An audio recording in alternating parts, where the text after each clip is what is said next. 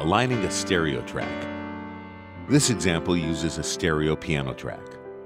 Open the InPhase stereo component on your piano track.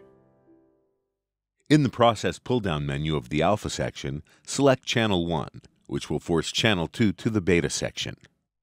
Click Capture and play a short loop. Once the capture is complete, you'll see the left channel of the stereo piano waveform in the alpha display and the right channel in the beta display. On the wave system bar, click AB to toggle between A, the processed signal, and B, the unprocessed signal. Set the marker to the beginning of a note with a clear start point. Zoom in to get a good look at the note's first transient, which will be our sync point. You'll see that the alpha waveform is early compared to the beta, so we'll adjust the beta waveform to match the alpha.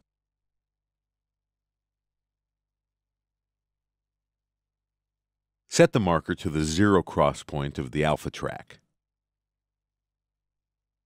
Use the beta section delay control to align the zero crossing of the beta section to the alpha section, or grab the waveform and move it manually.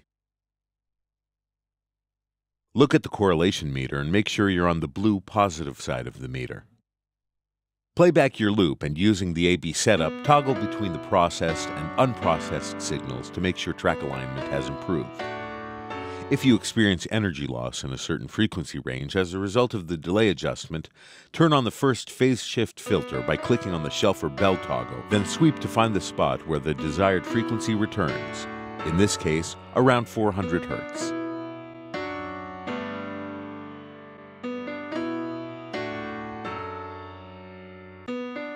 Turn the filter on and off to make sure phase alignment has improved. If needed, adjust a second frequency range using the second phase shift filter. In this case, around 120 Hz.